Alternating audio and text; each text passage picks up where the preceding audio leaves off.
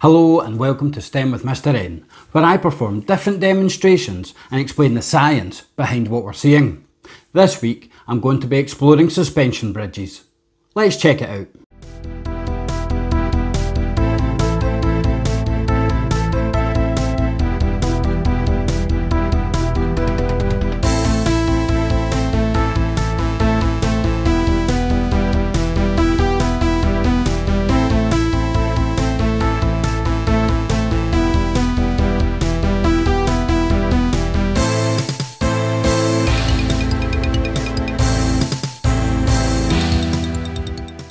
I made a video previously exploring beam bridges. Beam bridges are the oldest and simplest type of bridge because all they require is that you have one sturdy piece of material to go across your gap. Suspension bridges with their tall towers, curving cables and long spans are excellent examples of modern civil engineering.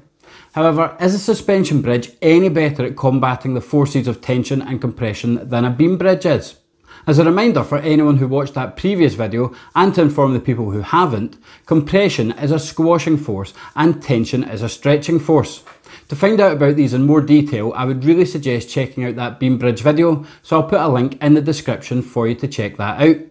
I'm going to be using different materials to make my suspension bridge than I used for my beam bridge in that previous video. So to start this activity, I'm going to make a beam bridge using the same materials that my suspension bridge will be made out of.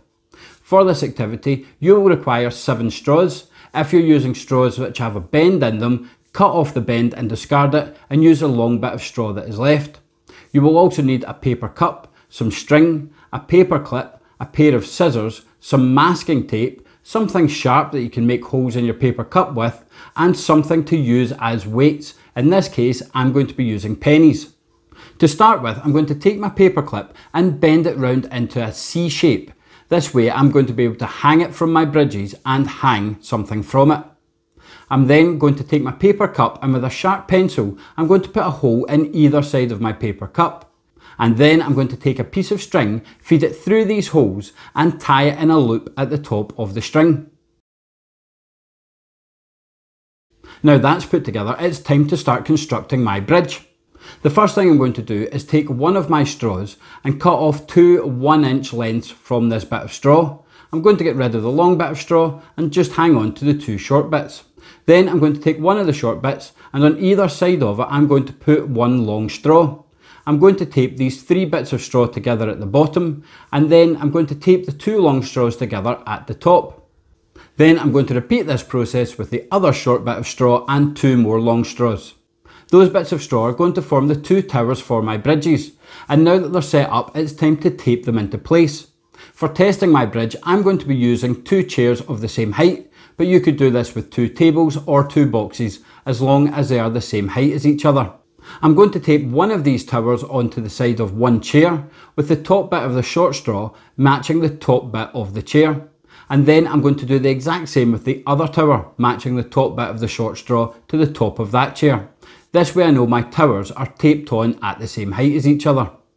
Then I'm going to take one of my two remaining straws and balance this across the gap on top of those two short straws. This is a simple beam bridge. It's not being supported by anything other than those two short bits of straw at either end.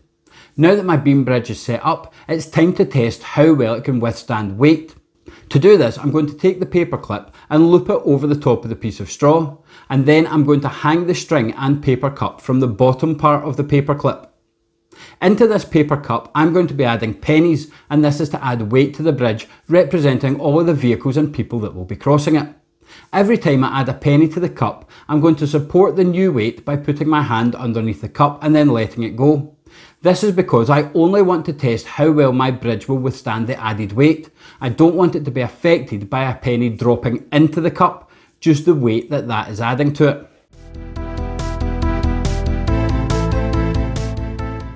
You'll notice that as I'm adding more and more coins, my beam bridge is starting to bend in the middle. Eventually, I reach a point where so much weight has been added that the beam bridge bends and completely falls down in the gap coming off of those two short straws at either end. So now we've seen how well that beam bridge can withstand weight, it's time to test the suspension bridge. To make the suspension bridge, I'm going to take my last remaining straw and tie some string around the middle of it. I'm going to put that straw again balancing on top of those two short bits of straw and then I'm going to take one side of string up and over the middle of the tower on one side and tape it onto the chair with the string pulled relatively tight and then I'm going to do the same on the other. I say relatively tight because if you pull the bits of string too tight, you're going to end up lifting the beam of your bridge up off of those two short bits of straw. So your string will have a wee bit of slack in it, but don't worry, as long as your string is secured across the middle of those towers and then taped on to the chairs, table, boxes or whatever it is you're using to test your bridge on. Now that my suspension bridge is set up, it's time to see if it fares any better with the weight being added to it than the beam bridge did. So again, I'm going to loop the paper clip over the beam of the bridge with that paper cup and string hanging down from the bottom of the paper clip. And once again, I'm going to add pennies in once at a time, supporting the drop of them with my hand underneath the cup before letting go to see how well the bridge copes with the weight.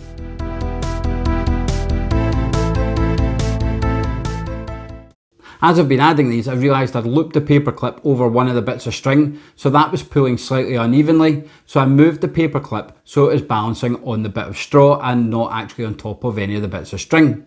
This wouldn't affect the overall test, but I just wanted to make sure it was properly resting on the straw instead of on the string, so there's no uneven pulling.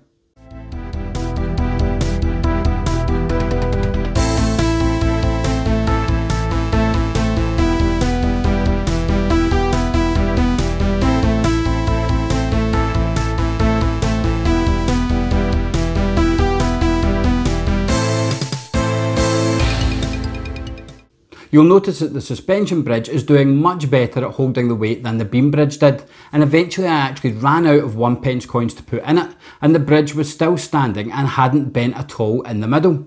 So what was actually happening in this demonstration that makes suspension bridges better than beam bridges for supporting the weight?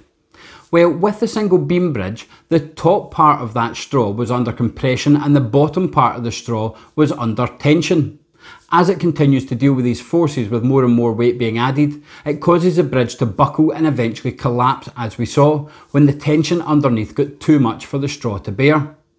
With the suspension bridge, what is happening is these forces of compression and tension are being spread out around the rest of the structure. The string ends up getting put in tension and this supports the weight being pulled down. The string is pressing down on the towers so they are taking that force of compression. This way, the beam of the bridge is not having to deal with all the forces on its own, unlike with the beam bridge. So suspension bridges are better at taking the weight than beam bridges are, however they do have their own issues. One of which is they are quite flexible, which means they can be affected by strong winds, which could ultimately lead to bridge collapse, as happened in 1940 in Tacoma, Washington. So engineers really need to think about the environment that they're constructing a bridge in to decide which type of bridge is going to be best for that environment.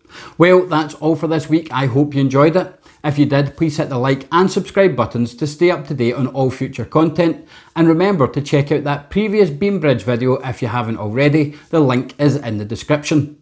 As always, I would like to take this opportunity to answer any science questions you have about any science topics at all. So feel free to email me at stemwithmrn at outlook.com and I'll get back to you with answers to your questions. You can subscribe to the channel by pushing the button here, and I've added a link here to the other STEM demos I've done so far, here to my STEM career interviews, and here to my robot review videos. This has been STEM with Mr N, exploring suspension bridges.